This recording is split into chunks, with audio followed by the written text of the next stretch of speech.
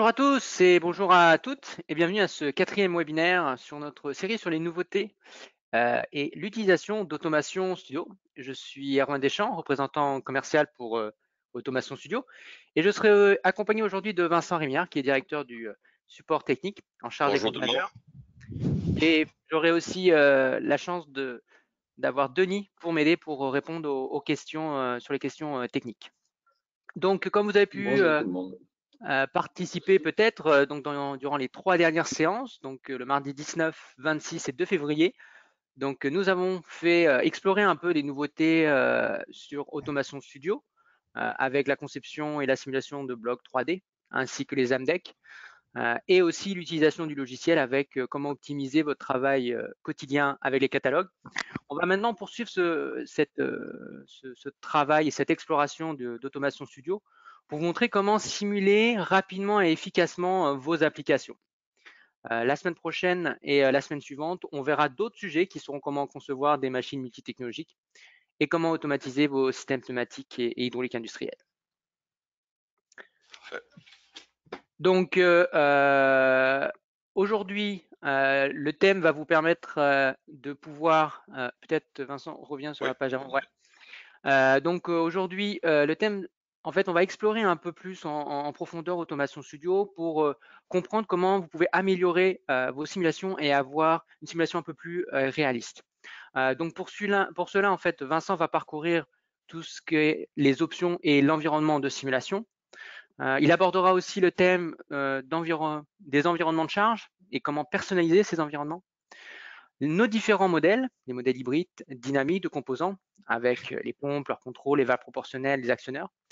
Et ensuite, on passera sur d'autres, donc on va dire les ces trois premières étapes pour améliorer, et après on passera aussi pour, euh, par toutes les étapes de simulation, voir un peu quelle est la, simulation des temps de réponse des systèmes, euh, comment simuler euh, l'efficacité des systèmes, qui inclut bien sûr les phénomènes thermiques, et finalement l'architecture logicielle et matériel euh, permettant la co-simulation.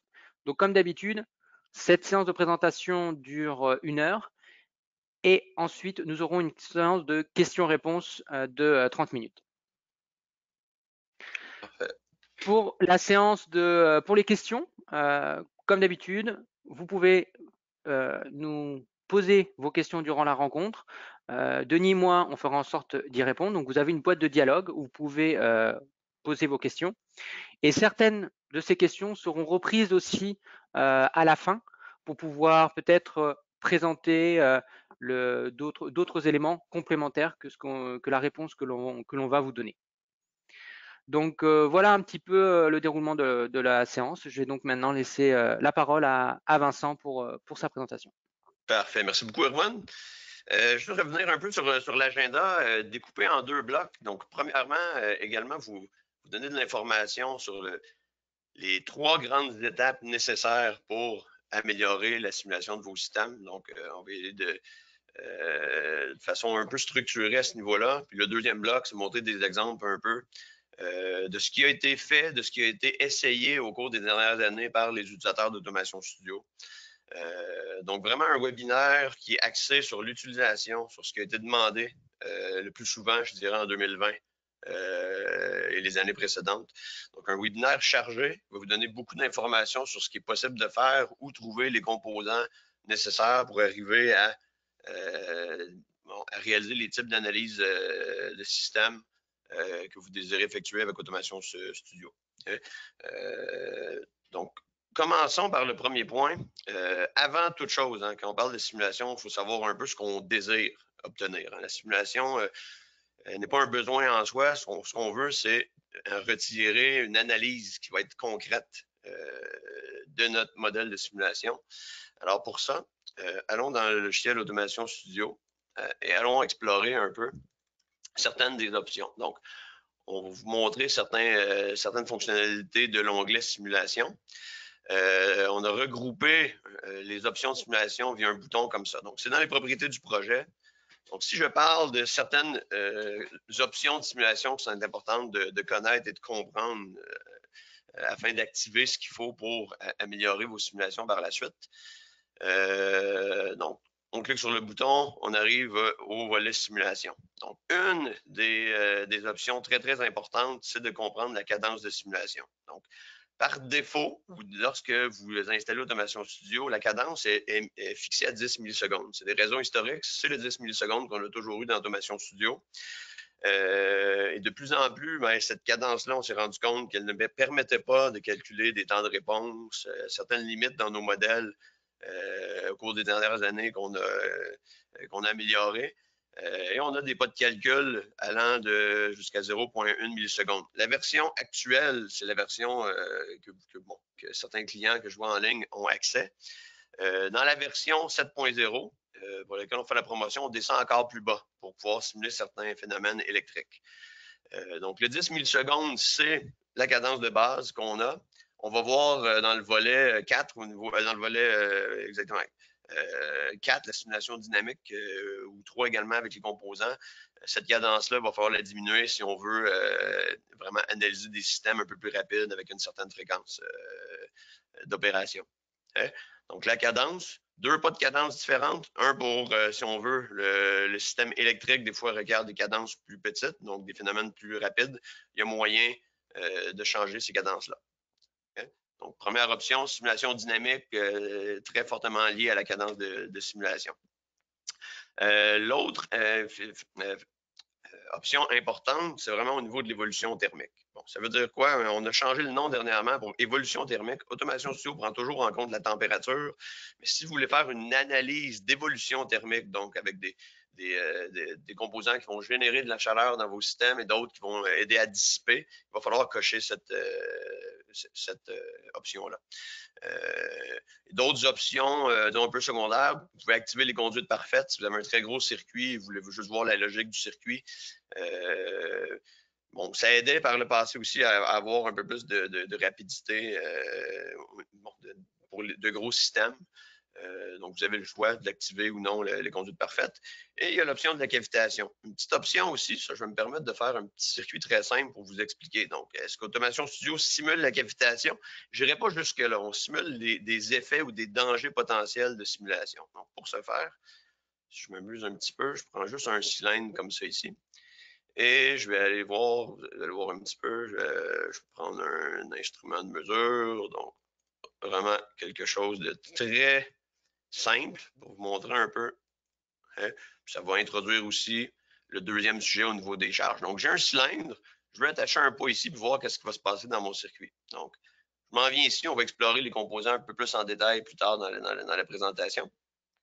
Donc, j'arrive ici et euh, possibilité de modifier l'angle, donc une inclinaison euh, à mon cylindre, je vais mettre moins 90 degrés, donc euh, pour mettre la tête euh, du cylindre en bas ou l'inverser, et je vais aller y mettre une charge. Donc, première première façon de mettre des charges, pendant la partie 2, on va retourner sur ça, qui est vraiment le deuxième volet important. Donc, au niveau de la cavitation, en quoi cette option-là est intéressante, c'est que vous avez mon cylindre maintenant est suspendu. Si j'amorce la simulation, vous voyez, j'ai une couleur assez euh, claire, comme quoi la conception de mon système, elle est, euh, pas très bien. Euh, bon, c'est pas le, meilleur design, vous me voyez, j'ai de la succion ici. Donc, j'ai un danger de, potentiel de cavitation. Hein. donc, en tout temps, le logiciel, que l'option soit activée ou non, va vous permettre de voir s'il y a des dépressions qui pourraient être problématiques dans votre circuit. Hein. Donc, si je vous montre d'autres exemples probants ou euh, d'analyses que, des gens euh, font ou désirent faire avec Automation Studio, euh, donc même principe. Donc, ma cavitation n'est pas activée pour l'instant. Je suis quand même voir, à chaque fois j'ai du, rose par défaut, du fichier par défaut, je vois que j'ai une dépression. Donc, par exemple, à l'admission d'une pompe, ici, je, je, caricature, je mets un orifice, mais si votre ligne n'est pas, le diamètre n'est pas assez grand, vous pourriez avoir un problème de cavitation ici. Même principe, j'ai un cylindre suspendu avec un tiroir fermé. Euh, donc, vous voyez avec une valve d'équilibrage. Donc, des circuits classiques avec des mauvais choix de, euh, spool ici peuvent engendrer, si on ne laisse pas avec la compressibilité de l'huile, on ne laisse pas euh, une certaine flexibilité, on peut avoir des dangers de cavitation. C'est bon? Donc, les questions qui nous reviennent, OK, qu'est-ce qui change lorsque j'active cette fonction de cavitation-là? Euh, ben, ni plus ni moins, je vais émuler ce qui pourrait se passer si j'avais de la cavitation dans, le système. Donc, en fonction de la pression de vapeur de l'huile, qu'on va aller voir prochainement, quand j'active la cavitation, ça me permet d'émuler des effets potentiels de cavitation. Donc, si jamais j'avais un bris ici dû à la cavitation, mais je pourrais avoir de l'air qui remplit le cylindre et je pourrais avoir une chute. Hein. Même principe, ma pompe pourrait briser, je pourrais diminuer ou limiter le débit disponible euh, et ainsi de suite. Hein.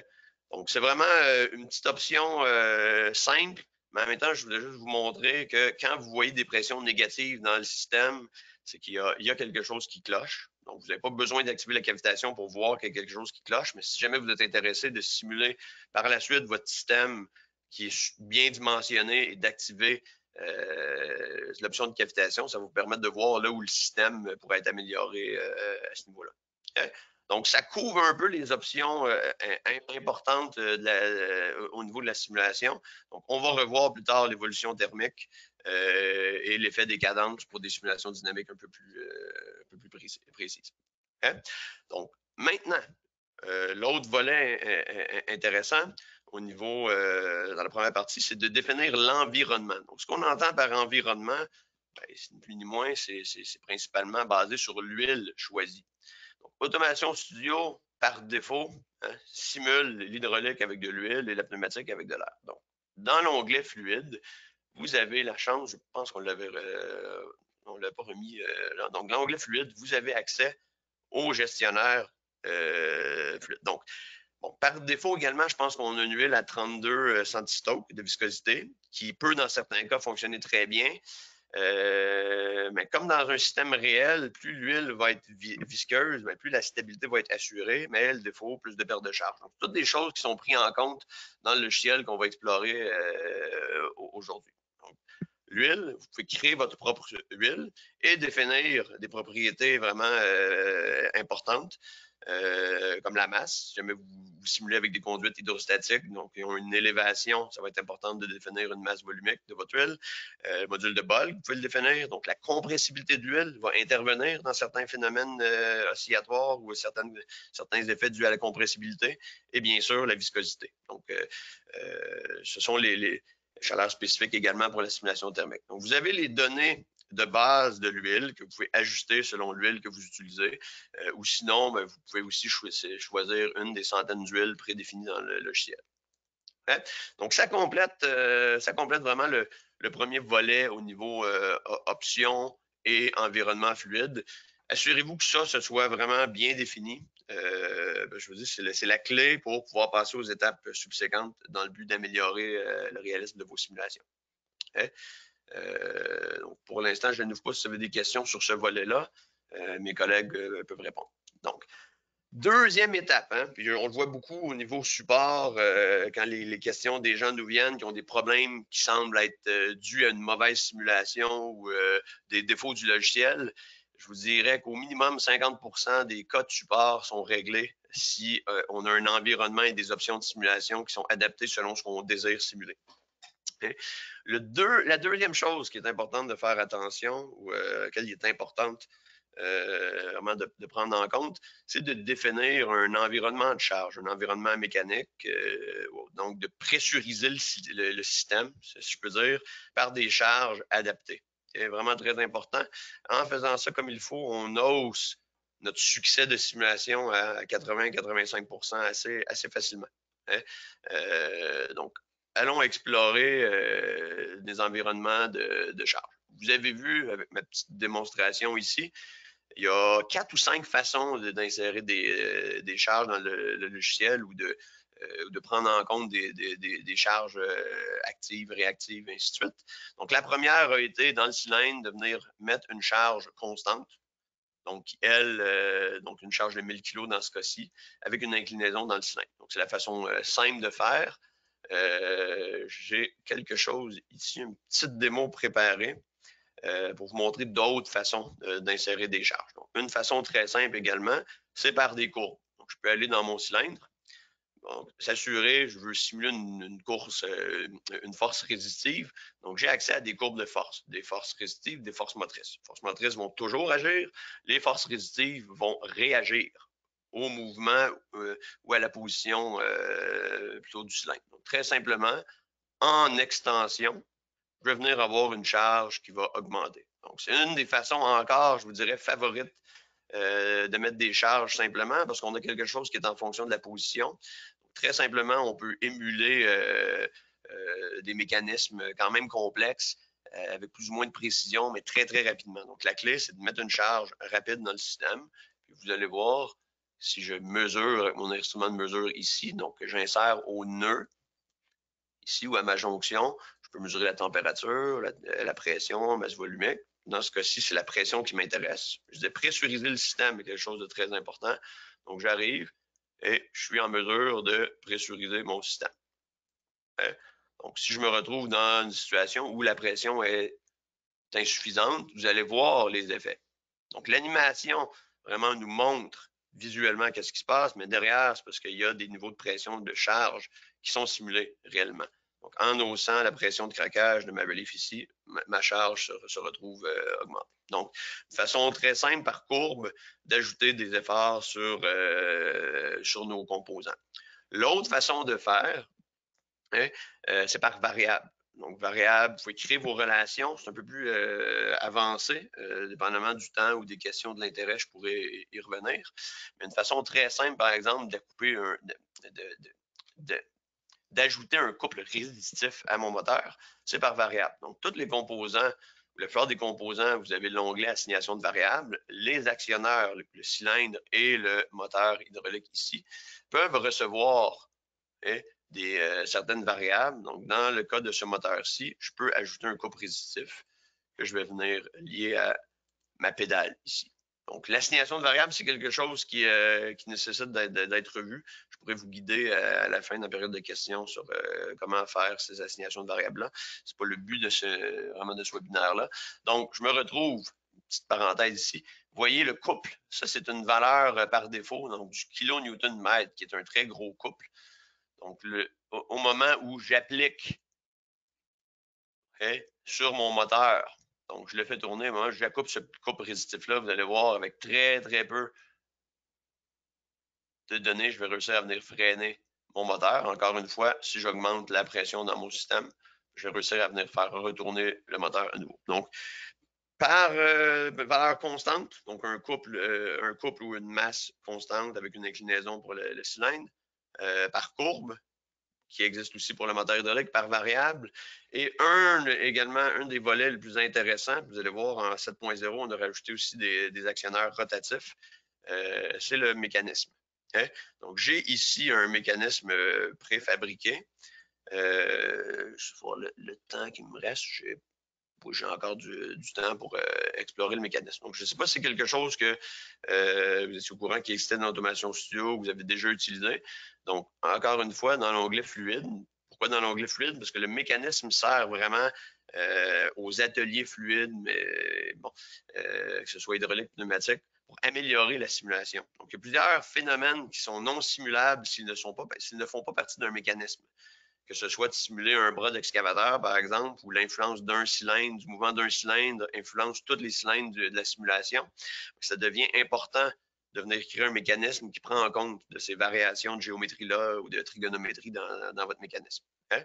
Donc, le gestionnaire de mécanisme permet, vous créez votre mécanisme, vous créez, euh, c'est moi juste réorganiser ça, vous créez votre mécanisme, donc, qui contient un bâti par défaut. Vous définissez vos nœuds. Dans le visualisateur ici qu'on a, on voit à chaque fois qu'on clique sur les nœuds qui sont créés exactement de façon euh, dimensionnelle où ils se situent. Vous avez l'échelle aussi. Vous allez voir un peu. Donc, un mécanisme d'un mètre. Et j'ai créé également une. J'ai créé également un corps. Donc, mon corps contient trois nœuds. 1, nœud 2 et nœud 3, un centre de masse que j'ai déplacé. Hein.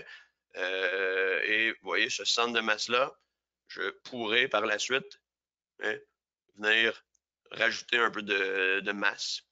Hein. Donc, vous voyez, c'est un petit peu plus long, mais ça donne un, réalisme vraiment euh, amélioré. Euh, si vous avez des, mécanismes par actionneur linéaire, comme je disais dans la version 7.0, vous allez avoir également les actionnaires rotatifs, qui est une belle nouveauté. Euh, on va avoir la chance de présenter dans le webinaire de la, semaine prochaine. Donc, j'ai créé mon corps ici, j'ai créé un pivot, donc j'ai déjà lié ma membrure avec mon bâti ici, juste pour vous montrer ce que ça donne. Si je pars ma simulation comme ça, vous voyez, membrure, elle est bien attachée. Donc, le poids par défaut, euh, donc l'axe des Y euh, négatif. Donc, je reprends ma simulation, juste pour simplifier la création de mécanisme. Vous voyez, j'ai mon cylindre ici, je le prends, je le mets, je le dépose. Donc, automatiquement, les données de course du cylindre vont être transposées dans mon, euh, dans mon composant. Alors, ce qui me reste, c'est de venir lier via mon pivot le côté cylindre à euh, mon bâti, euh, moi c'est le corps nœud, euh, non, mon bâti nœud 2, excusez-moi, celui-là ici. Donc, je crée ma euh, liaison et je viens lier le côté tige de mon cylindre à mon corps, le nœud 3 que j'ai défini ici. Hein? À ce moment-là, automatiquement, le cylindre va s'ajuster et là, vous avez un mécanisme qui va vous permettre d'aller plus loin dans la création de, vos charges. Donc, j'ai un mécanisme qui est soulevé en haut, en bas. Hein? Donc, les changements de trigonométrie en fonction des charges, tout ça va être pris en compte. Euh, c'est vraiment euh, un, atelier de dynamique. Hein. C'est pas juste de la cinématique, c'est bien important. Tout les, le volet inertiel va être pris en compte, donc l'accélération des charges et, ainsi de suite. Donc, juste pour le, si je retourne dans mon gestionnaire de mécanismes. Hein. Et euh, donc, je retourne au niveau du corps. Ici, la donnée centre de masse, je viens mettre un, allons-y agressivement, on va voir si mon cylindre est capable de soulever ça. Donc, un, 20 tonnes, donc vous voyez, incapable de soulever. Vous avez directement l'effet hein, du poids sur votre système. Donc, si j'ose la pression, vous allez voir le niveau de pression requis vraiment pour soulever la charge. Et vous allez voir, si je retourne en mode descente, vous voyez le rose, qui est un très, très mauvais signe. Donc, ça vous donne un environnement mécanique et là, ça vous permet d'ajuster votre conception hydraulique et de rentrer progressivement dans le volet modélisation des composants, qui est le, troisième point. Euh, juste une petite parenthèse, euh, j'ai quatre ou cinq façons. Si jamais vous avez le module ou si jamais c'est quelque chose qui vous intéresse d'explorer, il, y a moyen de créer des environnements mécaniques beaucoup plus complexes. Donc, je pourrais euh, nommer, c'est une des démos, je pense, qui a été le plus, un des systèmes qui a été le plus demandé. Euh, donc, un treuil hydraulique. Euh, donc, il y a façon de faire simple avec le moteur, donc par des courbes, de simuler une charge qui augmente ou qui diminue en fonction qu'on soulève ou qu'on diminue, prenant en compte le poids des, des charges et autres. Mais juste une petite note ici, donc possibilité de créer des environnements mathématiques ou physiques complets en utilisant une librairie de blocs. Hein? Donc, vous avez ici toutes les opérations mathématiques requises. Je n'aurai pas le temps, malheureusement, de, couvrir ça, donc c'est juste un petit aperçu. Et ça vous permet de simuler euh, vraiment avec vos propres équations, avec vos propres phénomènes. Donc, si je vous montre un petit peu le genre d'environnement mécanique que vous pouvez créer avec, euh, ce genre d'atelier-là. Vous avez ici euh, la dynamique complète euh, de la charge, en, ben, la charge qui est soulevée par le treuil en rotation. Hein. Dans ce module-là, il y a moyen de rendre certains paramètres ouverts. Ce que je veux dire par ouvert, c'est que durant la simulation ou, ou lors de simulations successives, vous avez l'occasion vraiment de, modifier euh, certains paramètres pour voir l'effet que ces paramètres-là vont, euh, vont avoir sur la simulation et les résultats de votre euh, système. Hein? Pour vous montrer, on est même allé aussi loin que simuler le, le rayon, j'ai le mot anglais, excusez-moi, donc le rayon efficace. Euh, donc, prendre en compte le fait qu'à chaque tour, ben, la corde ou le câble d'acier ben, ne vient pas se juxtaposer, hein, il s'insère entre, euh, entre les câbles. Donc, on peut aller très loin dans ce genre de phénomène. Il suffit d'avoir l'équation, de la euh, traduire et de venir, vous voyez, simuler l'effet de tous ces paramètres-là. Donc, si je vous montre la simulation ici, donc, vous voyez l'effet, je soulève ma charge, voyez, je la baisse, je peux changer les vitesses ici. Euh, je peux changer la vitesse, augmenter la vitesse, diminuer. Bon. Oui. Dans mon grapheur, j'ai ma simulation, j'ai simulé mon cycle de travail, je peux venir hein, voir un peu. Donc, l'élongation, la position, montée, descente, changement de vitesse, donc plus rapide, plus lent. Et vous voyez l'effet oscillatoire. Donc, on y reviendra dans la simulation dynamique. Euh, très important, si vous avez des phénomènes qui requièrent ce genre de détails-là ou des, dynamiques rapides, ben, ça vous donne une autre façon vraiment de prendre ces phénomènes-là en charge. Hein? Donc, ça complète, euh, ça complète vraiment le volet, euh, le volet, le volet 2. Donc, option, environnement fluide, l'environnement des charges, pas besoin d'aller au niveau mécanisme, euh, comme je vous expliquais, ou au niveau création euh, via l'atelier de mathématiques ou l'atelier de bloc. Euh, vous pouvez y aller par des constantes, par des courbes, et très rapidement, vous être en mesure d'améliorer la réaction de, vos systèmes. OK? L'autre volet très, très important et également que je vais amorcer, c'est ça complète vraiment la troisième étape dans le but d'améliorer la précision. Pourquoi je le mets en troisième? Parce que ça dépend de ce que vous voulez simuler et ça dépend du, problème que vous voulez analyser euh, et autres. Donc, dans Automation Studio, il y a, plusieurs euh, niveaux de simulation. et on commence de plus en plus à, avoir, à rendre disponibles des modèles dynamiques. Hein? Euh, qui, je dis contenant d'être dynamique, on appelle des modèles hybrides parce qu'il y a vraiment un volet euh, au, niveau du temps de réponse qui est pris en compte. On appelle ces composants-là hybrides. On va en explorer quelques-uns. Euh, parce qu'au niveau des performances, hein, euh, qui sont liées à la géométrie interne ou la fabrication des composants, on fonctionne encore sous forme de, courbes ou de, de, tables de données. Hein. Donc, on va explorer un peu là, des volets, des composants importants je retourne à Automation Studio. Ça va faire un peu de ménage. Euh, je ne sais pas, Denis, est-ce qu'il y a des, euh, questions déjà, le temps que je réouvre euh, Denis ou Erwan? Non, pour, l'instant, je ne vois pas de questions dans le volet. N'hésitez pas à en poser. Hein, si vous en avez, vous, pouvez, en poser. Parfait. Hein? Donc, je sais que ça, va vite, je couvre pas tout. Hein. Si jamais il y a des choses que vous voulez que je revienne avec un peu plus de précision, vraiment, c'est de vous donner un éventail, une façon d'envisager la simulation dans le but d'améliorer vos, systèmes. OK. Donc, au niveau composant, euh, dans Automation Studio, si votre but c'est d'avoir une simulation euh, euh, vraiment fonctionnelle, générique, ben, vous avez des composants des composants, bon, le mot anglais hard-codés, donc qui sont codés avec leur propre algorithme interne. Je prends cette pompe-là, par exemple, ben, c'est une pompe très simple. je peux activer les favoris, vous allez voir, cylindrée, vitesse maximale. J'ai aucune information euh, dans cette pompe-là au niveau de ses temps de réponse, au niveau de la dynamique interne et autres. Euh, de même, si je prends une, valve que j'utilisais tantôt, ma valve de limitation de pression, mes choupes de sécurité, donc j'ai des composants comme ça qui, eux aussi, ont une, gamme de propriétés très, très euh, limitée. Hein. Donc, ces composants-là, c'est principalement, ils ont une fonction, ils vont la faire, sont calibrés pour fonctionner à 10 millisecondes.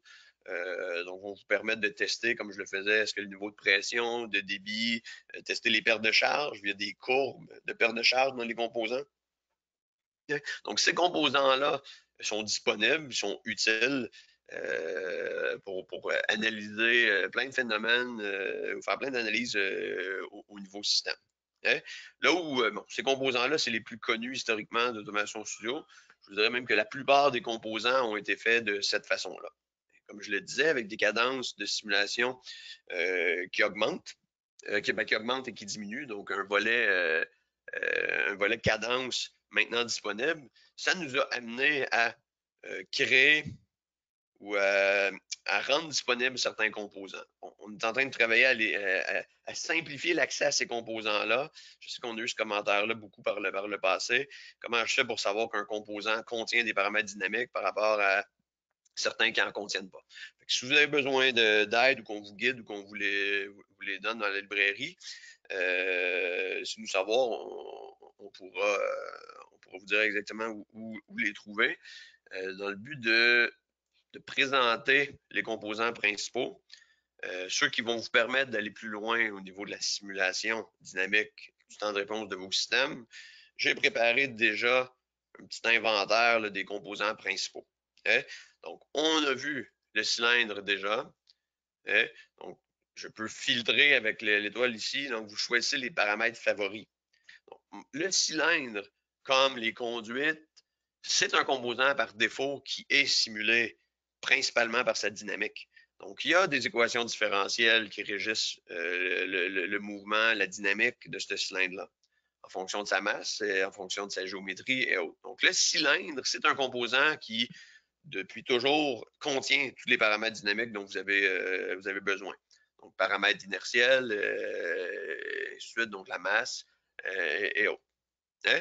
En plus, on a ajouté avec les années certains paramètres mécaniques euh, donc les coefficients d'amortissement, pour modifier la, euh, dynamique de ce cylindre-là. Donc, euh, coefficient d'amortissement, possibilité d'ajouter des fuites, ça, j'y reviendrai au niveau efficacité de système. Mais si on s'en tient à ça va aussi influencer la dynamique. Donc, je vais avoir une fuite, phénomène d'amortissement dû au fluide qui, s'écoule. Donc, on prend ça en compte, la masse, bien entendu, la masse du piston. Donc, plein de paramètres qui vont vous permettre, une fois euh, euh, de prendre en compte la dynamique euh, du cylindre. L'autre composant important, c'est au niveau des pompes. j'ai un petit exemple que je vais vous présenter dans quelques minutes au niveau de la dynamique des, pompes. Donc, ça, c'est un des volets qui a été le plus demandé. comment faire pour vraiment améliorer le temps de réponse des pompes en boucle ouverte? Euh, c'est un des volets les plus, je dis, les plus demandés. Donc, pour ça, on a développé encore une fois une pompe qui contient une dynamique, via son cylindre, de, son cylindre de contrôle. Donc, possibilité d'ajuster vraiment les temps de réponse pour aller chercher des temps de réponse qui sont absolument dans l'ordre de grandeur de ce que les manufacturiers offrent. Donc, du, 100 millisecondes en descendant, on est capable euh, de zéro à plein débit. J'ai une petite démo euh, à ce niveau-là. Hein? Donc, on ajuste les, paramètres vraiment dans le but de reproduire des comportements en temps de réponse de, la pompe. Parfait. Quand je parlais de modèle hybride, donc la dynamique et au niveau des performances, vous allez voir, on y reviendra dans le volet efficacité, moyen d'aller prendre en compte aussi des modèles, donc des performances. Vous avez les performances majoritairement dans l'automation studio sont modélisées par courbe. Donc, si vous choisissez un modèle par fuite, de la pompe. Ça vous permet de, modéliser euh, des fuites quadratiques. Si vous choisissez un modèle par courbe, courbe de rendement, ça va vous permettre d'insérer des courbes de, rendement, de rendement telles qu'obtenues par des tests ou partagées par certains manufacturiers. OK? Donc, pompe, actionneur, un également des plus importants ou des composants les plus euh, versatiles en automation studio, c'est la valve directionnelle ici. Donc, je pense que c'est celui qui représente le mieux euh, le concept de modélisation hybride. Vous avez dans les données tout ce qu'il faut pour euh, ajuster la vitesse de déplacement du tiroir, dans ce cas-ci, ou du clapet. Hein. On peut utiliser le même modèle pour, euh, pour simuler des valves à clapet, des valves logiques, et ainsi de suite. Par défaut, j'ai un modèle cinématique, donc un tiroir qui va se déplacer à vitesse constante.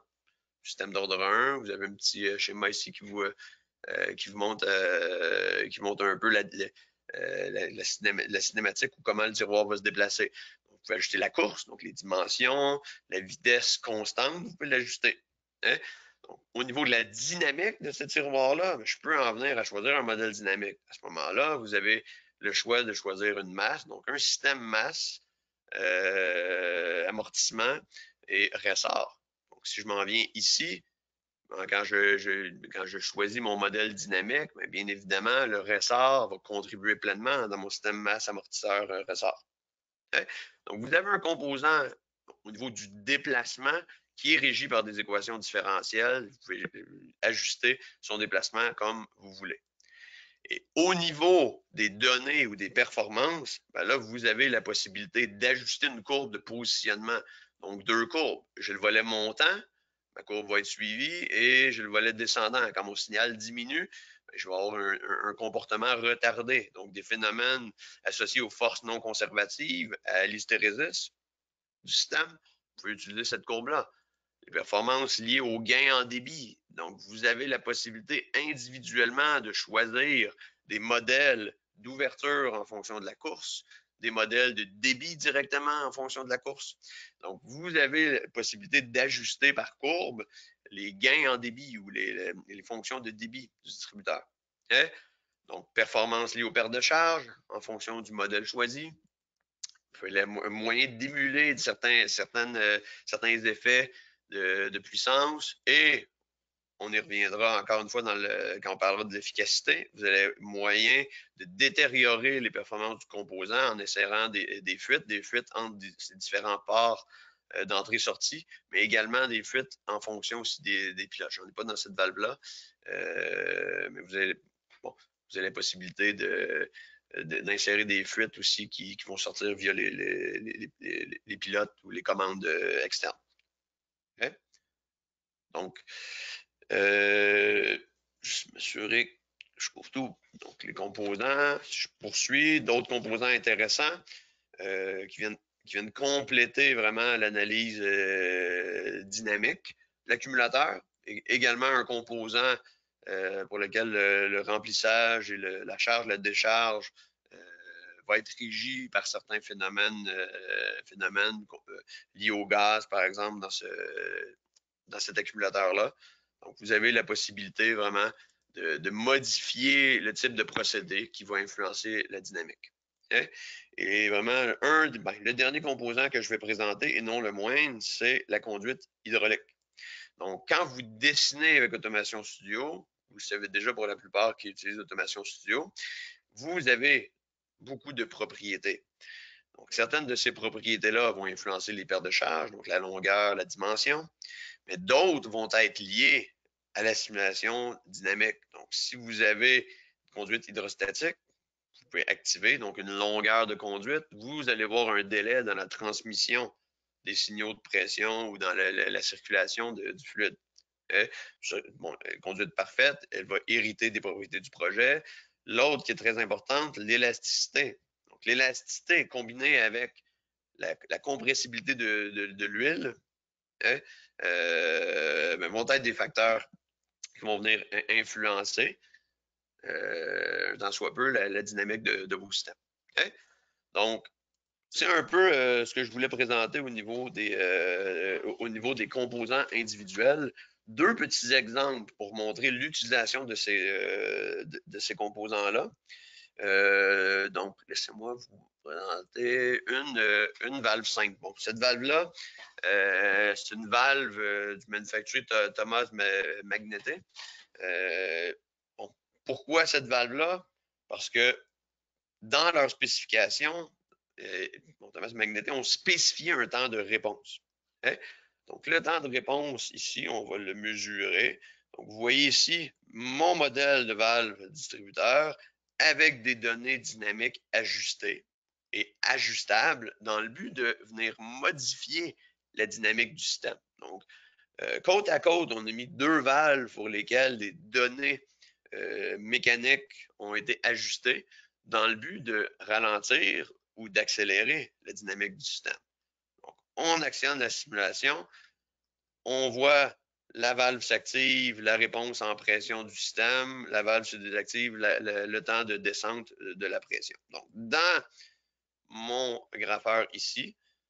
Hein, euh, les données ont été mesurées, les données de pression de mes deux valves. Donc, à gauche, la valve jaune qui réagit en dedans de 30 euh, millisecondes, avec mes traceurs ici que j'ai insérés, ou mes curseurs. Et ma valve euh, orange, qui elle est un peu plus. non, elle, c'est en dedans de, de 50 millisecondes, elle en dedans de 30 millisecondes. Donc, c'est les limites spécifiées par le manufacturier. Donc, vous voyez, mon temps de réponse très, très rapide. Ça nécessite une cadence plus élevée, ça nécessite le bon modèle, ça nécessite aussi euh, un orifice ici dans le but de pressuriser le système et de mesurer euh, les performances de ce composant. Hein?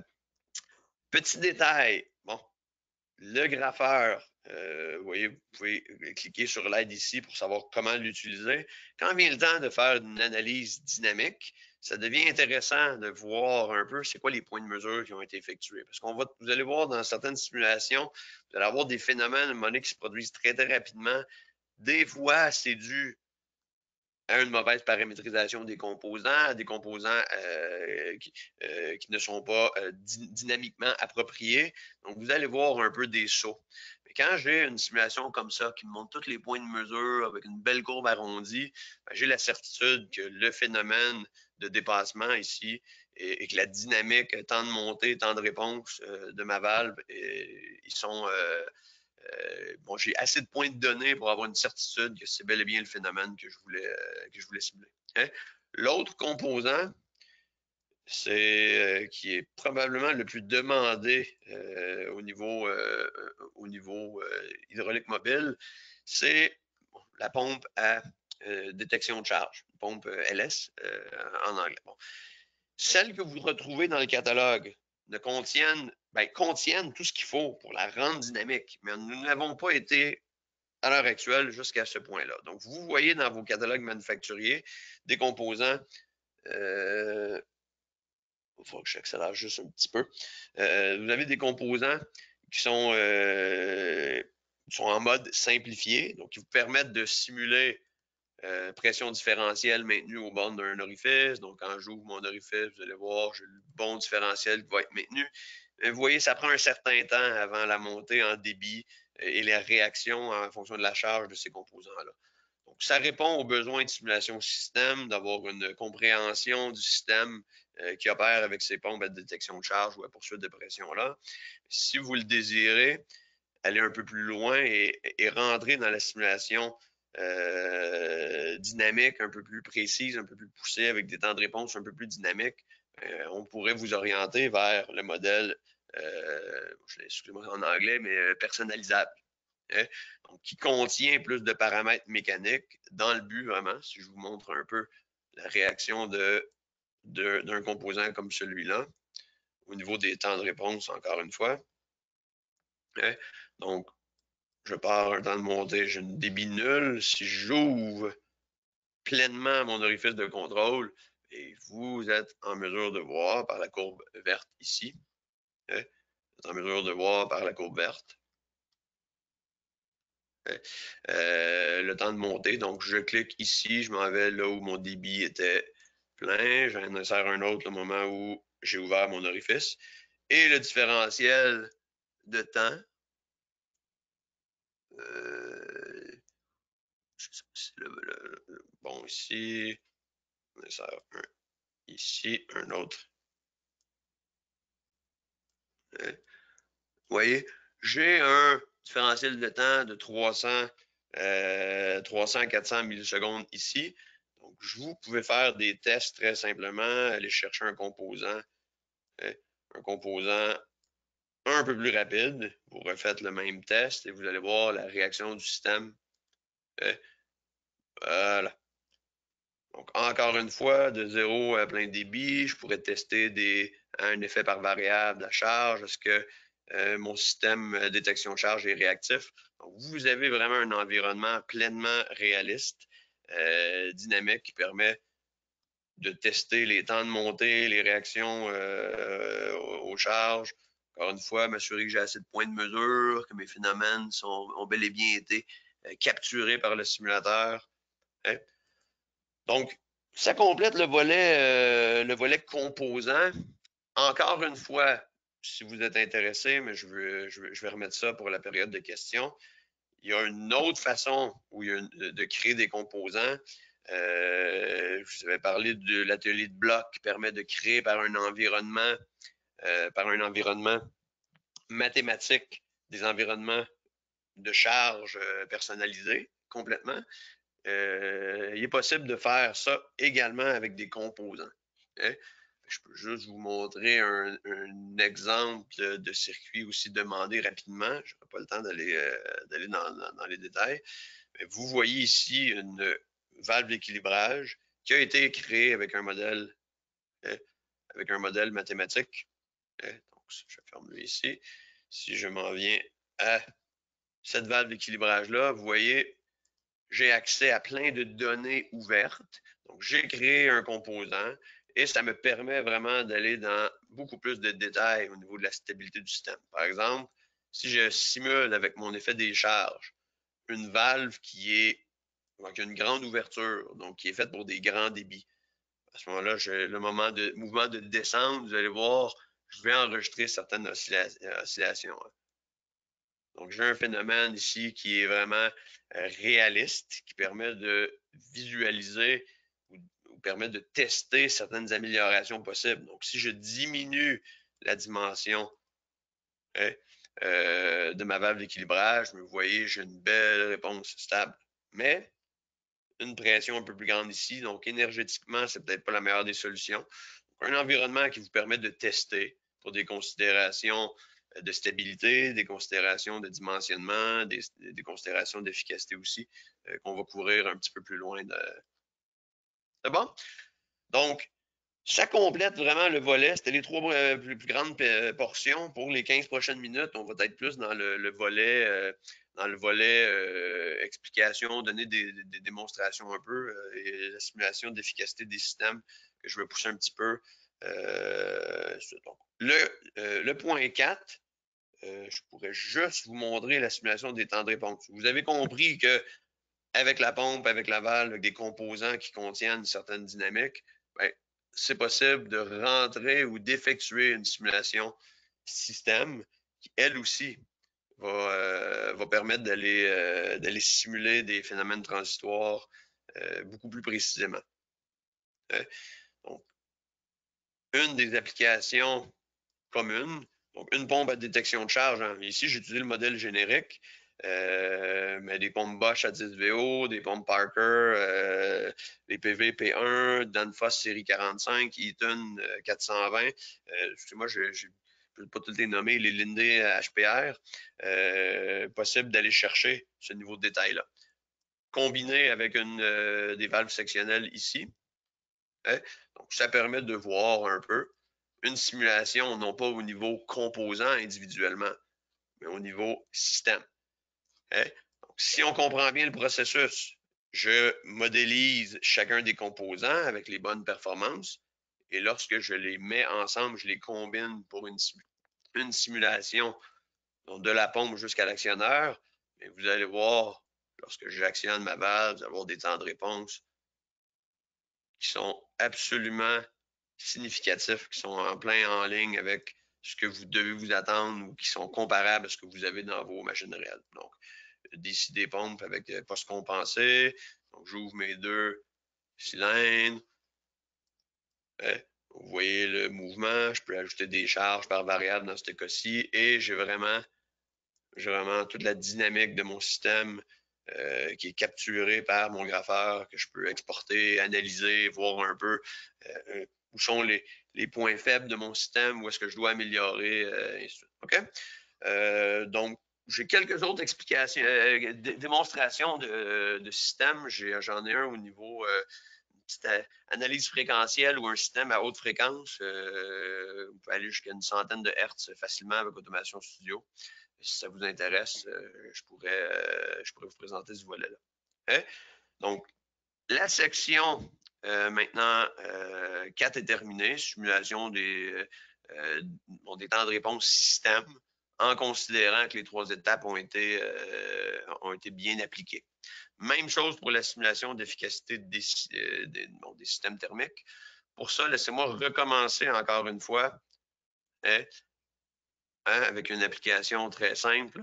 On peut vous montrer le plus, plus simple, c'est une pompe qui débite hein, dans un orifice. On va voir. Donc, je prends ça ici et, euh, avec un réservoir. OK. Donc, juste pour vous montrer, encore une fois, la manipulation très simple. J'ai une pompe, juste mettre une petite protection également ici. OK, donc je viens compléter mon petit circuit. Et oui, donc comme je vous disais, Automation Studio prend toujours en compte la température. Donc, si je simule hein, en mesurant la température avant mon orifice, donc je mesure la température avant et je la mesure après, vous allez voir, la température, elle est prise en compte. Donc, je suis à 25 degrés, la viscosité de l'huile est ajustée à 25 degrés. en complément de l'environnement fluide que, je vous expliquais au niveau du choix de l'huile, il va être recommandé aussi hein, à l'étape 1 de venir vous assurer que les températures de simulation sont les bonnes. Hein, que l'huile, est-ce qu'elle est dégradée par un certain pourcentage d'air? Donc, dans le choix de l'huile, dans l'environnement fluide, il va falloir que vous veniez sélectionner ou que vous ajustiez euh, ces, volets-là dans le but d'avoir un peu plus de précision au niveau simulation, euh, simulation thermique, simulation euh, d'efficacité et autres. Hein? Donc, la température est prise constante. Juste pour vous montrer un petit peu, si je mesure, par exemple, la pression différentielle dans mon orifice en bas, et quand je simule à 25 degrés, j'obtiens une certaine valeur. Hein? Donc, si j'arrête ma simulation et que je simule avec une huile plus visqueuse, donc je diminue la température initiale du fluide et la température euh, ambiante initiale. Vous voyez? Ben, à ce moment-là, vous allez voir une petite modification au niveau des paires de charge. Donc, une huile plus visqueuse, une paire de charge qui va être euh, augmentée. Hein? Donc, ce que ça permet de, de faire, c'est que ça permet ce genre de simulation-là à température constante, permet de tester, de comparer euh, des systèmes entre eux. Je pense avoir un exemple tout près, sinon je vous le montrerai. Euh, Donc, c'est quelque chose d'un petit peu plus euh, bon, d'un petit peu plus avancé. Vous une pompe qui, qui simule qui, se met, qui débite vers un moteur. C'est moi, je suis en mode auto, euh, sauvegarde automatique que je n'ai pas désactivé. Euh, je ne sais pas si euh, on commence à avoir des questions. Je vois qu'il y a des mains élevées. Donc, Oui, on a eu des questions. Pendant que ça sauvegarde, j'en ai pour quelques secondes encore. Ben, en fait, la question que, qui était, que à laquelle j'ai répondu concernait euh, la, création des, huiles, savoir si on pouvait donner des courbes de viscosité en fonction de la température. Euh, j'ai juste précisé qu'actuellement, nous, on modélise euh, l'huile avec deux points de température pour la, viscosité et la densité. Et ensuite, si on simule avec les évolutions thermiques, la viscosité va évoluer en conséquence la question était posée pour savoir si on pouvait euh, avoir plusieurs scénarios, s'il y avait besoin de plusieurs huiles pour tester à différentes températures. Non, ce n'est pas le cas avec l'évolution thermique. La température va évoluer d'elle-même et la viscosité va évoluer en conséquence. J'y arrive, j'y arrive. C'est exactement le, deuxième volet. Euh, deuxième volet. Hein? La simulation thermique, donc vous voyez, la température est toujours prise en compte. Là où j'arrive, puis c'est c'est de plus en plus bien expliqué euh, et bien compris par nos, utilisateurs. Il y a vraiment, bon, euh, c'est notre interprétation, mais nous, on considère qu'il y a vraiment trois niveaux au niveau de la simulation thermique. Donc, ce que je vous expliquais, c'est que la température, elle, elle est toujours prise en compte. Donc, le choix de l'huile est important, comme je disais au début, parce que hein, la viscosité actuelle ou celle du, fluide utilisé, c'est elle qui est prise en compte pour les calculs de perte de charge et, euh, ainsi de suite. Hein? Donc, dans le circuit installation, c'est là que vous choisissez l'huile, vous choisissez les, températures d'opération ou de simulation. Hein? Donc, le niveau 1, qui est la simulation à température constante, là où elle est intéressante, Hein, c'est qu'elle permet de faire des simulations successives à différentes températures. Donc, vous voyez, je suis à 15 degrés Celsius. J'ai un système qui me génère un 136 bars au bord de mon orifice. Donc, j'ai vraiment une, bonne perte de charge ici à cette euh, température-là. Hein.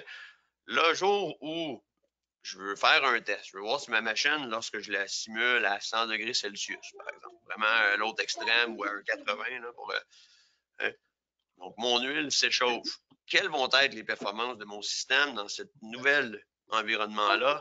Ben, vous voyez, j'ai un gain au niveau des J'ai un, gain au niveau des pertes de charge. Euh, Denis, je peux te. Parce qu'on t'entend, si. Non, pardon. Excusez-moi. Pas de problème. Donc, vous voyez, j'ai vraiment un gain par une hausse de température. Mais est-ce que c'est suffisant pour conclure que mon système dans son ensemble euh, est plus ou moins performant?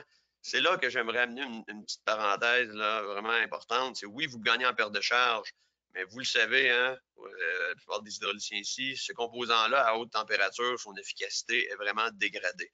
Donc, c'est là, quand je parle du bon choix de modèle, le modèle par défaut idéal ne convient pas pour ce genre de simulation-là. Donc, vous allez avoir à vraiment choisir les composants, donc prendre en compte les pertes de charge, ajuster euh, l'efficacité volumétrique mécanique de vos composants pour s'assurer que ce que vous gagnez avec la température qui augmente, ben, vous ne le perdez pas ailleurs. Donc, une simulation plus complète, plus réaliste, que même à température constante, donc simulation de niveau 1, nécessite euh, vraiment que vous preniez, euh, que vous preniez en compte des modèles au niveau énergétique qui sont un peu plus euh, précis. Donc, une pompe avec des fuites, cylindre, valve avec des fuites, euh, que vous modélisez les pertes de charge dans, vos composants. Donc, tous les, composants ici, assurez-vous d'avoir les bons modèles. Donc, on ne va plus de modèles dynamiques ici. On parle vraiment des modèles au niveau de performance du système qui soient appropriés selon l'analyse que vous voulez faire. OK? Le, ou l'analyse thermique de niveau 2 implique comme Denis le répondait, que dans les options de simulation, vous activez l'évolution thermique. Donc, ça veut dire quoi, activer l'évolution thermique? Ça veut dire que par défaut, par des relations de perte de charge, de déchauffement, de dimension de conduite, euh, de fuite dans les composants, le fluide va s'échauffer. Hein? Donc, vous voyez ma température arrive euh, au bord de mon orifice à 80, elle ressort échauffée. Donc, l'orifice, par ses caractéristiques de restriction, va contribuer au réchauffement de l'huile. Donc, le niveau 2 requiert que les réchauffeurs d'huile et les refroidisseurs, que vous pourrez trouver dans les librairies au niveau conditionnement euh, conditionnement de fluide, donc des réchauffeurs, des refroidisseurs, définir par courbe leur puissance ou par variable, c'est un, autre volet également possible de, faire. Vous allez être en mesure d'ajouter dans vos simulations thermiques les composants qui sont les plus euh, importants de prendre en compte, que ce soit pour l'échauffement, mais que ce soit pour le refroidissement aussi. Hein? J'ai une petite démo ici qui montre un autre volet intéressant. C'est quand vous commencez à prendre en compte l'évolution de la température, ben, c'est important de prendre en compte le fait que l'huile recircule.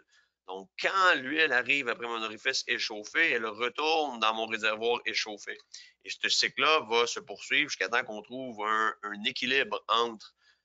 Hein, donc, mon huile commence euh, commencer à moins 15 degrés Celsius, mais au fur et à mesure que j'ai de l'échauffement, via les charges produites, les, fuites, ainsi de suite, j'ai une huile qui va se réchauffer.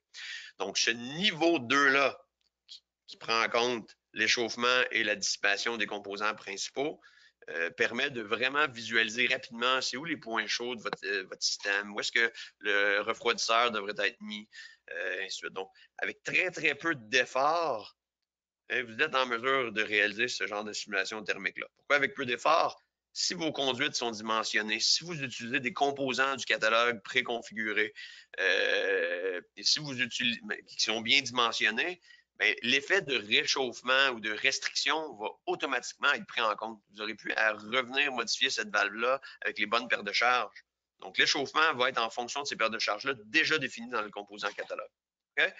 Donc, ça vous permet ça, ce genre de système-là va être analysé un peu plus en détail euh, au niveau des transmissions hydrostatiques, le webinaire de la semaine prochaine. J'arrive à 10 heures, donc euh, moi vous montrer. Euh, hein, moi vous montrer un exemple typique d'analyse euh, thermique. cette démonstration-là où les fichiers associés, de plus en plus, on commence à en partager via notre forum et autres.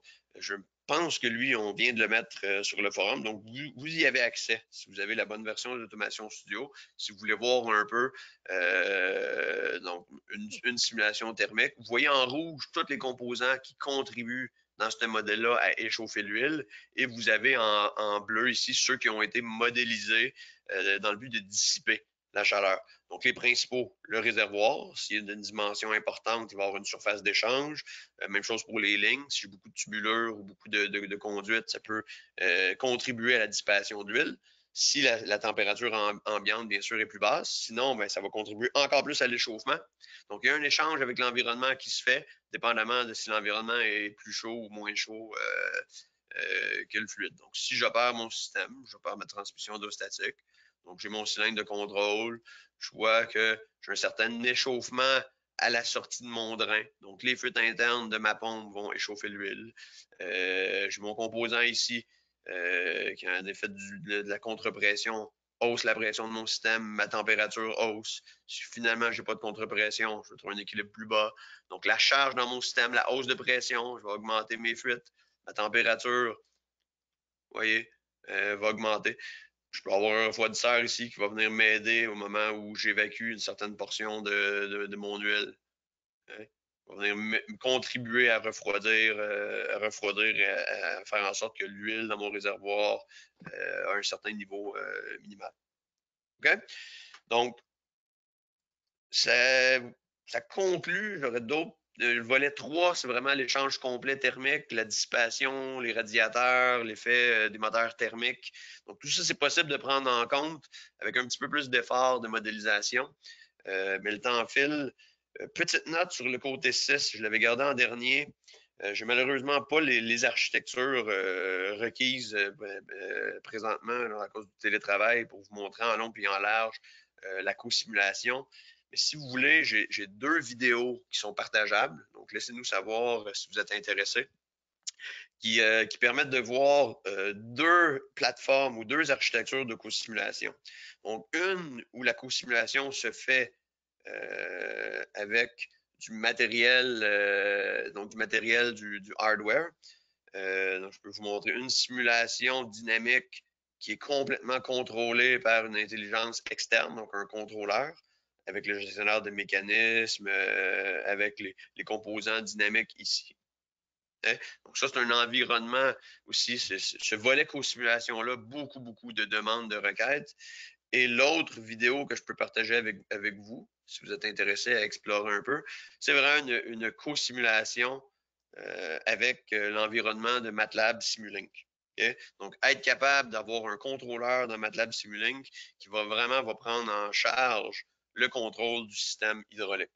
Donc, c'est deux plateformes de co-simulation qu'on a mises de, l'avant, euh, pour lesquelles il y a eu beaucoup, beaucoup d'intérêt euh, en 2020, puis l'intérêt du début d'année aussi euh, va dans le même sens. Beaucoup d'intérêt à co-simuler, soit avec du matériel, avec des contrôleurs qui existent chez plusieurs manufacturiers, ou, ou co-simuler avec un environnement du type MATLAB Simulink. Euh, donc, c'était ce que j'avais à vous présenter aujourd'hui. Vraiment, ce qu'il y a à retenir, les points importants. Une, euh, un formalisme vraiment en trois étapes. S'assurer que vous comprenez les options, s'assurer de un, à l'étape zéro, que vous sachiez ce que vous voulez simuler, euh, que vous sachiez un peu le, type d'analyse que vous voulez faire. En fonction de ça, faire le bon choix des options, hein, préparer l'environnement fluide pour optimiser vos chances de succès dans votre simulation, modéliser les environnements de charge de façon simple ou de façon un peu plus euh, poussée, si vous avez le temps, si, votre analyse le nécessite. S'assurer que vous utilisez les bons modèles en fonction de ce que vous voulez extraire comme simulation. Donc, c'est vraiment le cœur de ce que je voulais présenter, ce volet-là, ce formalisme-là. Et euh, au niveau 4, 5, 6, c'est plutôt au niveau de l'exemple. Si ça, c'est fait, vous allez réussir à faire de la simulation système au niveau du temps de réponse et vous allez être en mesure de simuler aussi l'efficacité de vos systèmes euh, qui prennent en compte les pertes énergétiques et les phénomènes euh, thermiques. Et si jamais le cœur vous en dit, bon, l'Automation Studio offre un environnement de co-simulation qui peut être avec du hardware, avec d'autres logiciels euh, également. J'espère que vous avez apprécié la présentation. Prochaine 25 minutes, j'ai été un peu plus long. Désolé, désolé de, du 5 minutes excédentaire. Merci Vincent. Euh, merci beaucoup tout le monde. Merci Vincent. Euh, donc euh, il, y a des, eu pas mal de questions qui ont été posées. Il y en a une, bon, Denis a, a repris une des une qui avait déjà été posée, mais il y en avait une autre de Monsieur Sarr concernant les, les actionneurs rotatifs. Il demandait en effet quand est-ce qu'ils allaient être disponibles? Denis avait répondu en disant que c'était sur la version 7, c'est bien ça? Oui, oui, exactement. oui, Monsieur Sarr, les, ça va être couvert. Aujourd'hui, moi, je me suis concentré euh, sur, un webinaire. C'était vraiment faire le pont entre 2020 et 2021. La version que j'ai utilisée, c'est la version courante. Euh, beaucoup d'améliorations, même sur ce que je viens de vous, euh, présenter, est en cours. Donc, les actionnaires rotatifs, pour simuler des, des, mécanismes de bielle manivelle, par exemple, qui est l'exemple qui va être présenté la semaine prochaine. Donc, le volet, euh, le volet nouveauté de la 7.0, système multitechnologique, qui inclut l'environnement mécanique euh, du mécanisme, c'est la semaine prochaine. Euh, je ne sais pas si, Denis, toi, de ton côté, tu as la version 7 puis tu as, une démo prête également. Comme je viens de récupérer la, la, bêta. Je n'ai pas trop envie de, de démarrer. Je n'ai pas testé du tout si je préfère. Euh, gardons ça pour la semaine prochaine. La semaine prochaine, assurément, mais sinon, euh, M. Sarr, hein, toujours moyen, si vous n'avez pas la chance de venir la semaine prochaine, on pourrait vous envoyer le vidéo ou à tout moment, vous pouvez nous contacter. Hein. Euh, petite parenthèse aussi, là, avant de prendre une autre question. Ce qui a été montré ici, hein, on est conscient, on était conscient qu'on présentait, c'est beaucoup d'informations. Euh, ça allait vite, pas beaucoup de, détails sur le comment faire. J'ai plutôt exploré euh, certaines propriétés en tout temps pour les gens qui ont Automation Studio et, qui sont intéressés. N'hésitez pas à contacter Erwan, votre représentant, ou directement le support technique. Faire un plaisir d'aller un peu plus en détail pour vous donner, vous guider encore, encore plus que ce que j'ai essayé de faire aujourd'hui.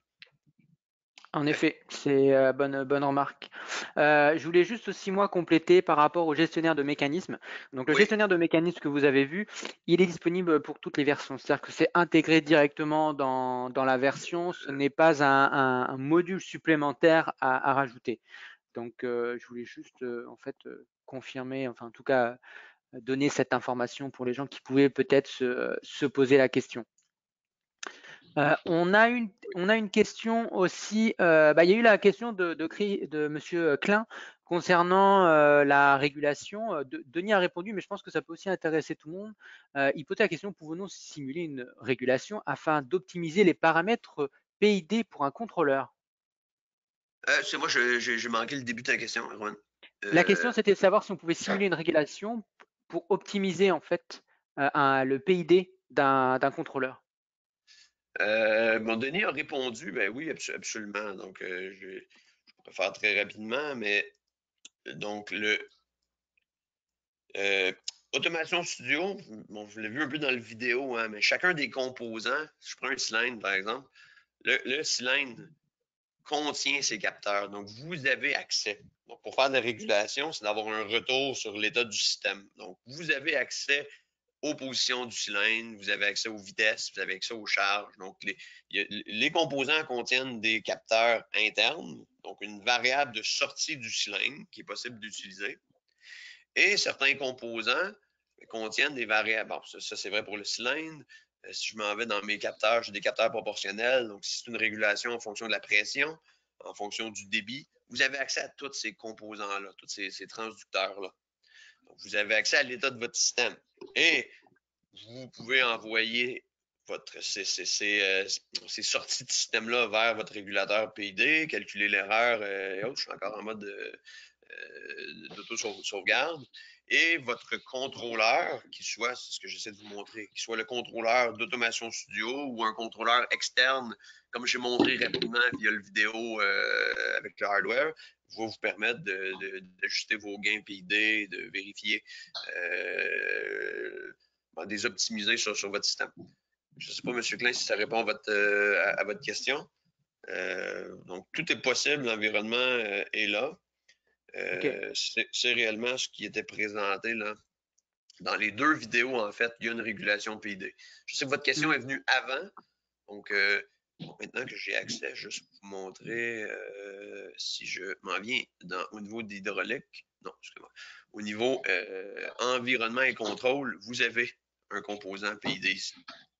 Donc, lui permet, PID, permet très simplement de prendre le pouls du système via les capteurs, de faire votre calcul. Donc, c'est une boîte de calcul hein, qui vous permet de calculer avec des opérations mathématiques et de renvoyer à un distributeur proportionnel, par exemple, le signal résultant de son contrôle. Hein. Donc, euh, si vous avez, besoin de plus d'informations, euh, euh, il fera plaisir de. Si y a du temps à la fin, je pourrais en faire un petit exemple un peu plus probable. pour répondre à votre question, oui, c'est possible. On a une autre question de la part de, de M. Cano. Est-il possible d'insérer les valeurs de comportement mesurées par, alors il nous donne une référence de boîtier d'acquisition Bon, à ce, moment-ci, euh, une des façons très, très, euh, ben, en fait, très simple, il y a plusieurs façons. Donc, pour un boîtier d'acquisition, ce que des gens font, une fois qu'ils ont acquis le système euh, ou qu'ils ont, pris certaines données au niveau des, des pressions de travail et autres, ben, au niveau des courbes, des courbes de, de, de, force, et ainsi de suite, puis il est possible si c'est des acquisitions de force en fonction de la position, vous pouvez venir insérer directement ces données-là ici. Si c'est vraiment des données euh, qui sont sous un autre format ou des données en fonction du temps, à ce moment-là, il y a plusieurs façons de faire. Vous avez ici des générateurs, de, euh, générateurs euh, génériques. Donc, des fonctions en fonction du temps. Donc, ça, ce composant-là, c'est un composant fonction du temps. Hein, on va comme ça pour que ce soit, ce soit clair. Et cette donnée-là, ou cette boîte-là, c'est un, environnement hein, euh, y, de, y de, X, où le X, c'est le temps. Et vous pouvez, encore une fois, venir copier-coller toutes les données de signal de sortie. Ça peut être une pression, une force, ainsi de suite, que vous pouvez réutiliser de la même façon que j'ai montré pour assigner en fonction du temps une variable vers l'actionneur de votre choix, que ce soit un cylindre ou un moteur, moteur atomique. Donc, c'est une façon très, très simple de copier-coller euh, de données ou l'insertion de données que vous avez de votre boîte euh, d'acquisition peut se faire très, très facilement par ces, consignes Y de T, consignes Y de X aussi. Si votre phénomène, euh, par exemple, un ventilateur où la force est en fonction de la vitesse, ben, vous pouvez très facilement utiliser ce Y de X-là pour générer le couple en fonction de la vitesse de rotation du ventilateur. Hein. Et la façon, disons, la plus, la plus complète, mais qui est aussi qui demande un peu plus de modélisation. Il est moyen en temps réel par des API de synchroniser la simulation automation studio et la boîte de données d'acquisition. Je parle de synchronisation, ça dépend des temps des temps d'échange requis, ça dépend du, temps d'échantillonnage, de la boîte d'acquisition, ainsi de suite. Mais il y a moyen par API de venir euh, lier une boîte d'acquisition directement à la, à la, simulation. Donc, ce qui a été montré dans le vidéo, si je, réouvre le, vidéo ici, ce qui a été montré dans ce volet-là, c'est une co-simulation entre Automation Studio et un environnement MATLAB Simulink. Mais il est possible de faire cette co-simulation-là avec une boîte d'acquisition de, données. Euh, euh, ça peut se faire euh, par, par API, comme on a fait avec MATLAB Simulink, mais si je vous montre un petit peu au niveau euh, outils, on a un gestionnaire de communication. Donc, on a deux modes de communication, euh, disons, prédisponibles, c'est presque du plug and play. On a un module OPC, donc une communication en temps réel par OPC, si votre boîte d'acquisition le permet. Automation Studio euh, va reconnaître une boîte d'acquisition qui, euh, qui échange selon ce protocole-là, ou encore le CAN boss J1939. Hein? Donc, plusieurs façons de, lier un environnement, une boîte d'acquisition, des données externes à un environnement de simulation automation studio, que ce soit d'importer les données euh, via des modules comme ça ou directement en mode co-simulation. Euh, Ok, donc c'est ça. Ben, Monsieur Cano a, précisé, mais en fait c'est ça. Ce qu'il voulait voir plutôt, c'était le fait de pouvoir, c'est au niveau du distributeur proportionnel, à partir d'un fichier d'acquisition type Excel. Ok, tu lui as montré en fait comment ajouter les courbes directement, sachant que les courbes, hein, ça peut être du copier-coller. On peut simplement copier-coller d'un fichier Excel. Oui, Exactement. Oui, c'est manuel, mais le copier-coller fonctionne très bien, vraiment, si vous avez une courbe de débit en fonction du, position. Euh, oui, fait que vous avez compris, M. Monsieur, Cano, il n'y a pas moyen vraiment de directement remplir ça euh, à l'heure actuelle. Euh, il y aurait moyen par API, mais on parle de programmation. Euh, la méthode la plus simple, c'est que si vous avez ces courbes-là accessibles pour chacun des passages de P vers A, par exemple, prenez le nombre de points, vous venez les copier, coller ici, puis votre courbe va être parfaitement ajustée selon, selon ce que votre boîte. Hein? Parfait. Euh, moi, j'avais une autre question. C'est quelque chose qui revient aussi euh, assez, assez souvent. On nous demande la question, on nous demande souvent euh, quelle est la précision des modèles, de nos modèles de simulation? Oui. Bon, ça, c'est également c'est une question de, de raison, qui revient souvent. vous voyez, nous, la, précision des modèles de simulation, on, voit ça un peu différemment peut-être que des, approches numériques ou théoriques. Euh, nous, la précision qu'on compare, c'est vraiment de la précision. c'est le pari qu'on a fait hein, dès le début avec la simulation de l'automation studio. On a fait le pari que le modèle de simulation va s'améliorer avec des données de test et des données euh, d'autres logiciels de simulation euh, de composants, par exemple, et autres. Ce que je veux dire par là, c'est qu'on a mis beaucoup d'efforts pour développer des modèles qui permettent très simplement d'ajuster les réponses du système en fonction des intrants venant de simulation ou venant euh, de test. Hein? Donc, la première fois que vous simulez votre pompe, par exemple, à 10 VO, sans ces données de test-là, ben, si vous prenez, vous avez des données, vous approximez, vous allez atteindre un bon niveau de précision. Mais lorsque qui est encore requis aujourd'hui. Hein, euh, malheureusement, il n'y a pas de logiciel de simulation qui permet de, prédire, à 100% sans que des tests et des données terrain ont été prises. Donc, après une première, une un premier test, que ce soit venant du manufacturier des composants, que ce soit par vos tests internes, vous allez avoir la chance, comme je vous ai montré dans les euh, premières portions de la présentation, d'ajuster vos modèles en fonction de ces données de précision-là. Une fois que vous avez amené le niveau de précision, vous pouvez sauvegarder ce composant-là dans le catalogue. la précision tend à augmenter au fur et à mesure que vous testez vos composants, que vous améliorez la simulation. une fois que ben, ce processus itératif-là, après deux, trois passes, est fait, ben, nos clients nous le disent, ou les utilisateurs d'automation studio nous le disent, la précision euh, fréquemment atteint euh, au-dessus de 95% au niveau de, la comparaison entre le modèle de simulation et ce qui est simulé.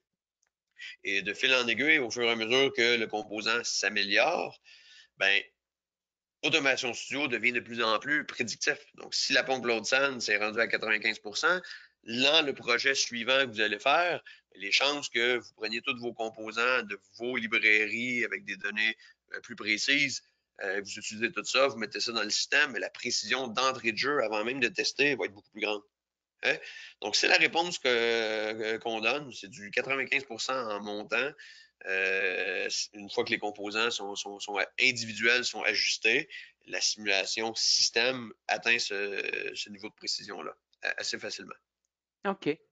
mais ça, ça me permet aussi de peut-être de poser la question, parce que tu parles par exemple de pompe A10 VO.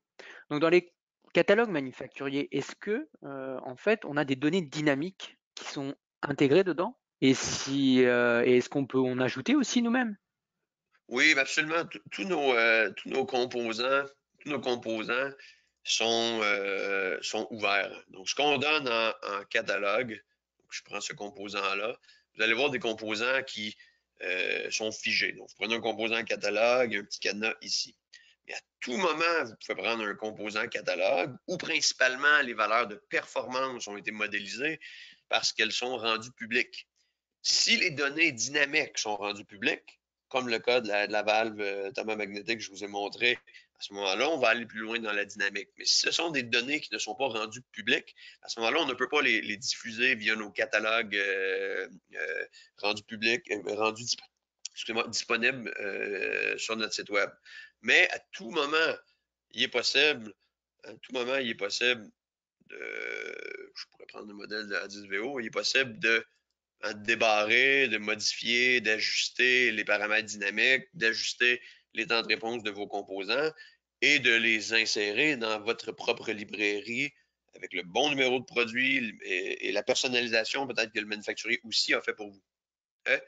Donc oui, euh, c'est très possible euh, d'ajuster. Donc le catalogue, il faut le voir. Hein? Euh, là, on entend aussi les, les gens qui disent Ah ben s'il n'y a pas de données dynamiques, c'est pas utile. Je ne dirais pas ça comme ça. Le catalogue, il faut le voir comme une aide à la conception. Donc, le 80% de gain en temps que vous avez d'utiliser le modèle avec le bon symbole du catalogue, c'est déjà ça de gagner. La simulation a un certain niveau de dynamique, donc vous allez être en mesure de suivre l'évolution temporelle de vos systèmes. On parle d'une amélioration ici en termes de précision, d'aller chercher le petit détail transitoire que nos catalogues tels quels ne, permettent pas nécessairement. D'accord. Oui. OK, OK. À, la question? Oui, oui, oui. Euh, tu nous as montré différents types de, simulations ou d'analyse. Euh, une question qui revient aussi souvent, c'est est-ce qu'on peut faire de l'analyse fréquentielle? Bon, euh, pour ça, j'ai un petit, une analyse fréquentielle. bon, Automation Studio demeure à l'heure actuelle, les outils d'analyse système demeurent dans, dans le domaine, domaine dans le volet, dans, le volet temporel. Euh, mais j'ai malheureusement, je pense que je ne réussirai pas à l'ouvrir. Euh, mais euh, bon, ceci étant dit, avec le pas de calcul, avec le calcul, avec la cadence appropriée, Automation Studio permet quand même de simuler, de simuler des phénomènes à des fréquences. Je vous dis, à point 1, on a atteint, pour des exemples, à plusieurs reprises, pour des, j'ai le mot hydraulic drifter, pour euh, des, des, marteaux ou des, des, perceuses à percussion euh, hydraulique. Euh, on atteint le 100-120 Hz au niveau de fréquence, fréquence de, système. J'ai un petit exemple ici, laissez-moi juste voir si je peux l'ouvrir.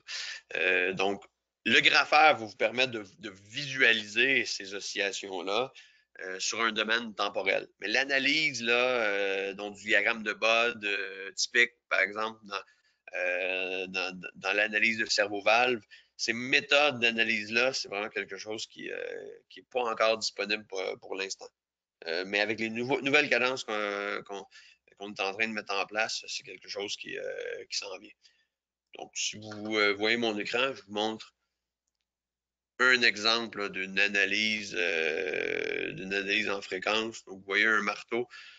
À ce moment-ci, dans ces fréquences-là, l'animation est absolument plus significative. Il faut vraiment se référer à euh, un graffeur ici pour voir hein, l'étendue du phénomène. Donc, j'ai un phénomène à 60 Hz, c'est-à-dire euh, une percussion de 60 Hz ajustable en fonction du débit, en fonction des paramètres des composants accumulateurs. Donc, tous des composants qui ont été mis dynamiques. Donc, c'est le genre d'analyse ou de phénomène fréquentiel. Et vous voyez le genre de simulation trop, euh, quand même régulière, tout à fait euh, significatif et réaliste encore une, encore une fois. Donc, on atteint certaines fréquences d'opération, l'analyse demeure dans le domaine temporel. Mmh, d'accord. Ok, ok. Euh, donc là, tu montres euh, tout ce qui est analyse.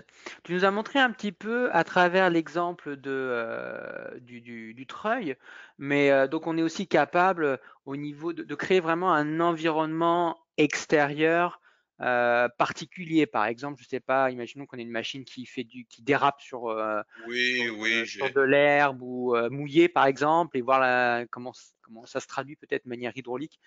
Euh, ce genre de phénomène-là, on est capable de modéliser euh, l'environnement extérieur? Exactement. Donc, vous voyez, là, j'ai montré le, le treuil hydraulique. Euh, donc, le, module de bloc permet vraiment de, de simuler. Vous avez vu le treuil. J'aurais pu vous montrer d'autres exemples. Vous voyez, ici, un tracteur avec la transmission deux roues motrices, quatre roues motrices. Donc, mathématiquement, ça se fait. L'accélération également euh, prendre en compte un moteur thermique modélisé euh, par la télé de bloc euh, et tous les phénomènes de glissement des roues. Je pense que j'ai ça ici, donc phénomène de glissement des roues. donc, phénomène de traction, perte de traction, c'est des volets, que l'atelier de mathématiques permet de simuler en combinaison avec l'hydraulique, l'électricité. Hein. petite parenthèse, hein, j'ai principalement focusé sur l'hydraulique à, l'heure actuelle. le lien avec l'électricité ou les volets, multitechnologiques. Donc, tout ce que je vous ai monté en hydraulique hein, s'applique également avec le module électrique. mais on, le réservait pour un webinaire à part un peu plus tard dans le cours de l'année ça répond à ta question, n'importe quel phénomène euh, est simulable via, euh, l'atelier de bloc. Il suffit d'avoir les relations, de, mettre ça en œuvre, puis de lier aux technologies offertes déjà dans l'automation studio. Ok, donc là on va modéliser grâce à cet atelier de bloc de maths euh, donc certains phénomènes donc au niveau de l'environnement. On a aussi la question qui, euh, arrive avec des, logiciels particuliers qui permettent, bah, on a parlé d'acquisition de données, mais par exemple des outils type Adams, c'est souvent quelque chose qui est assez utilisé euh, et on nous pose souvent cette question-là. Est-ce qu'on est capable de récupérer ce genre d'informations? Bon, donc là, euh, Adam, généralement, quand, cette euh, demande euh, arrive, c'est parce que le gestionnaire de mécanismes d'automation studio, à l'heure actuelle, est en deux dimensions. Donc, des logiciels comme Adams, qui se spécialisent, de ce qu'on en sait, hein, de ce qu'on en sait, se spécialisent vraiment en création de mécanismes 3D, donc des, dynamiques, des mécanismes plus complexes que, que ce que notre atelier permet de, modéliser. Hein. donc, de notre côté, hein, pour être euh, honnête, hein, euh, nous n'avons pas mis en œuvre de lien direct entre Adams et Automation Studio. Cependant, nous savons très bien que Adams et MATLAB, par exemple, ont une communication. Il y a déjà des gens qui s'y sont mis. J'ai eu probablement des modules d'import-export de Adams vers, MATLAB. Donc, sachant que Adams communique avec MATLAB, ben, le lien vers Automation Studio a déjà été effectué. Ben, oui, non, mais ça prend une double, une double licence Adams MATLAB. Euh, généralement, c'est pas mal le cas chez les gens qui ont essayé ça. Donc, le lien peut se faire, oui, avec des, plateformes comme, euh, euh, comme Adams. ça pourrait probablement se faire directement, mais, c'est quelque chose qu'on n'a pas fait encore. Pour l'instant, le, le, pont de co-simulation qu'on a fait avec un autre logiciel, ça a été MATLAB, MATLAB Simulink. Euh, pourquoi? Parce que le, bloc de maths, Erwan, tu as nommé deux utilisations. Création d'un environnement mécanique. En fait, j'ai nommé aussi la deuxième utilisation, création d'un composant personnalisé. Mais l'atelier de bloc aussi permet, dans Automation Studio, de créer un environnement PID beaucoup plus complexe, créer une architecture de contrôle beaucoup plus complexe. Mais en même temps, sachant que le logiciel le plus utilisé pour créer des boucles de commandes, c'est MATLAB, on s'est euh, assuré que le lien entre MATLAB et Automation Studio euh, était permis. Donc, on a créé un pont entre MATLAB et Automation Studio. Euh, et ce pont-là permettrait également de communiquer avec Adams. Le lien avec Adams, c'est quelque chose probablement qui, qui se fait, ou d'autres logiciels. C'est quelque chose qu'à l'heure actuelle, on n'a pas encore développé de librairie ou d'interface pour ce faire. Petite parenthèse, on a développé une interface avec Unity 3D aussi. C'est le deuxième. Je disais MATLAB, mais on l'a fait avec Unity 3D. Euh, pour créer des environnements de formation. Ok, parfait. Merci pour, euh, merci pour la réponse. Je pense qu'on va, on va arrêter pour aujourd'hui. Donc, euh, merci à tous pour votre présence. Merci, merci Vincent, merci Denis.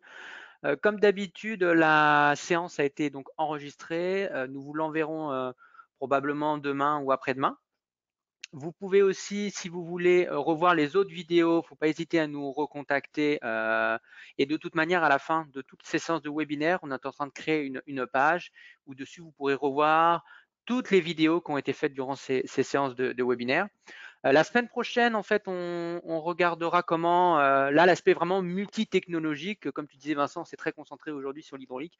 la semaine prochaine, ce sera plus vraiment comment concevoir des machines multitechnologiques. Donc, euh, on, espère vous voir à la prochaine séance et euh, ben, on, vous souhaite une, bonne après-midi euh, pour, pour ceux qui sont en Europe et une bonne matinée pour ceux qui sont en Amérique du Nord. Merci beaucoup. Merci beaucoup tout le monde. Prochaine. Au revoir.